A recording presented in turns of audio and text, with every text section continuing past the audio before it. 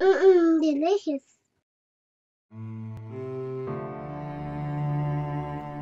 This is the world of medieval Europe, and medieval Europe was dominated by Christianity, which was centred in the city of Rome. From Rome, the church shaped all the most important aspects of life, from the cradle to the grave. The church purified you through baptism, educated you through confirmation, conducted your weddings, heard your confession, gave you your last rites, oversaw your funeral at death, and most significantly gave you access to the bread of communion, the body of Christ needed for your eternal salvation and allowing you to commune with God and the wider Christian world. For your average medieval peasant, staying in good connection or communion with the church was essential. They believed that those with a really good relationship with God were holy and would go straight to heaven. Those that were known to be holy were called saints and celebrated as models of virtue. Those who died in a state of mortal or really bad sin and outside of this communion were doomed to eternal damnation and torture in hell.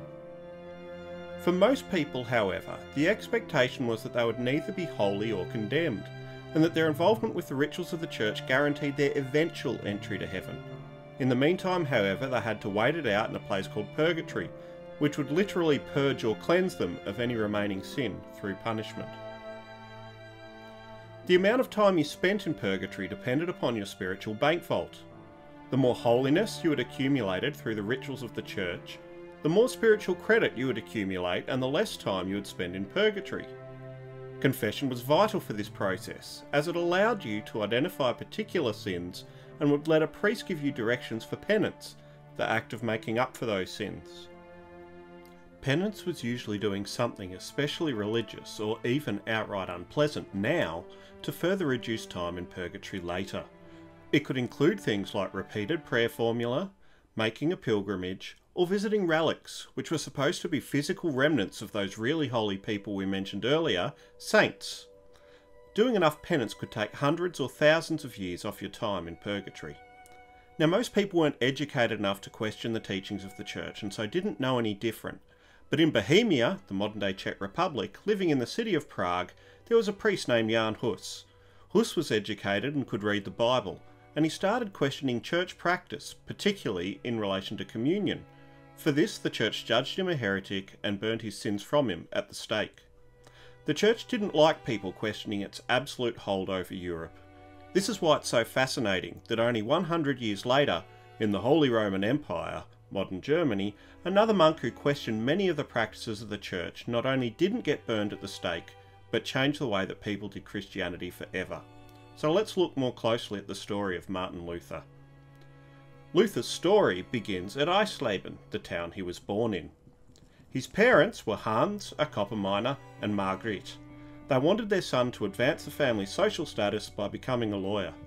So they sent him off to study law at Erfurt, Shortly into his studies, Luther found himself caught out in a storm, and he promised God that if he was saved, he would become a monk. As a monk, Luther obsessively sought to feel forgiven through constant confession and acts of penance. His confessor, Johann von Staupitz, thought this wasn't healthy and believed that Luther's troubles would be eased through a pilgrimage to the heart of the church, Rome. In Rome, Luther would be able to visit relics and perform penance, letting the holiness of the place soothe his religious angst.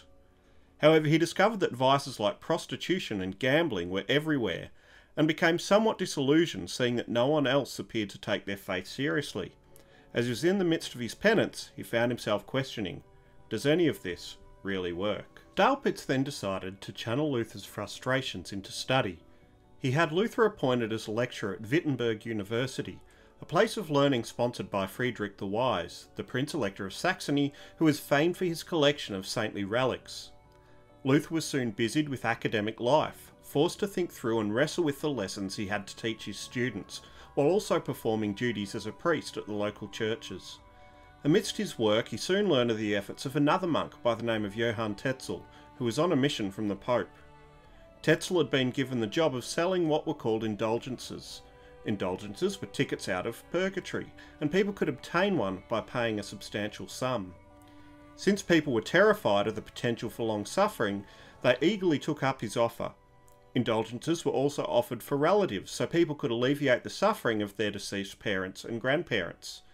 Indulgences were allowed by the Pope, Leo X, who saw in them an opportunity to raise money for the building of the new basilica, St. Peter's, in Rome. Now, Luther's studies in the Bible as a lecturer had led him to see that there was no biblical evidence for such indulgences, and he wanted to know where the Pope got his authority from.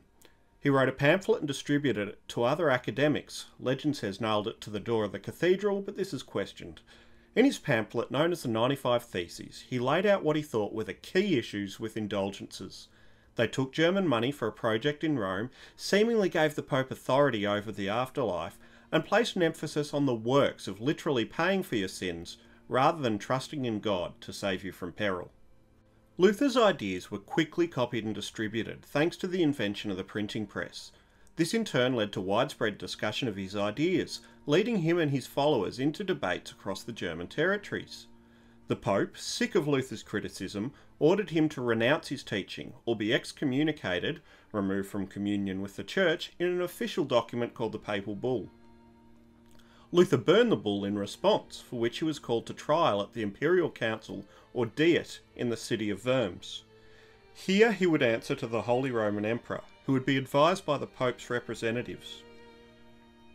The trial went poorly, and after learning he was to be found guilty, Luther fled the city. However, he was kidnapped by agents of his employer, Friedrich the Wise, who took him to a secret hiding place, Wartburg Castle, where agents of the Pope couldn't reach him. Here, Luther disguised himself as a knight and spent his time translating the Bible from Latin and Greek into German so that everyone could read it. In Luther's absence, thousands of peasants integrated his ideas of questioning the authorities into their hopes for outright revolution, not just against the Pope, but against all authority, including his protector Friedrich. Proving that he was no perfect human specimen, Luther called for the death of the peasants who were against God's orders perhaps being a little self-serving in the process. Luther did indeed have a temper and some inbuilt biases. On this ugly side, as time went on he wrote pretty horrible things about Jews, and also about reformers who were more radical than himself, called Anabaptists. Luther wanted a controlled, ordered reformation and didn't like challenges to his preferred way of doing things. Later in life, Luther married an ex-nun, Catherine von Bora, who allegedly escaped her convent in a wagon load of barrels. Together they settled down in the old Augustinian monastery in Wittenberg, where he continued to write and preach and expanded on more constructive ideas in the company of his friends at dinner times. One of these friends was another Wittenberg academic, Philip Melanchthon, who did some of the work that Luther, now an outlaw in Catholic lands, could not do. In what was called the Augsburg Confession, Melanchthon presented to the emperor an outline of Lutheran beliefs. This document paved the way for official recognition of the Lutheran Church. What allowed Luther to succeed where Hus did not? The printing press was a major factor, as the relatively new technology allowed his ideas to spread quickly throughout Europe. It also aided in various forms of propaganda, pamphlets, pub songs, and cartoons, which, expressed in German, enabled common people to more readily identify with his ideas. Secondly, the protection of Friedrich and the other Protestant, meaning protesting princes, gave Luther a safe haven. Their support also led to the large scale conversion of people to the new religious expression of their Protestant rulers.